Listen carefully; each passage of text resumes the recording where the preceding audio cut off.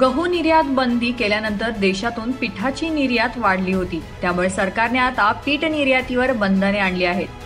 गहू पीठ गहू पिठासोबतच मैदा रवा आदी पदार्थ निर्यातीसाठी आता मंत्रीस्तरीय समितीची परवानगी बंधनकारक असल्याचं परकीय व्याप महासंचालयाने स्पष्ट केले आहे. जागतिक पातळीवर गहू आणि गहू पिठाची टंचाई कायम आहे. त्यामुळे दर वाढले. अनेक देश आयातीसाठी निविदा काढत आहेत. परिणामी गहू आणि गहू पिठाला मोठी मागणी आहे.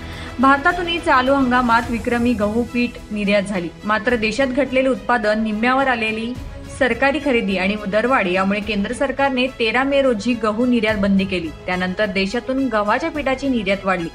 परंतु गहू निर्यात बंदीनंतर पिठाचे दर काहीसे नरमले होते तरीही सरकारने पीठ निर्यातीवर निर्बंध आणले आहेत. Bureau report APMC news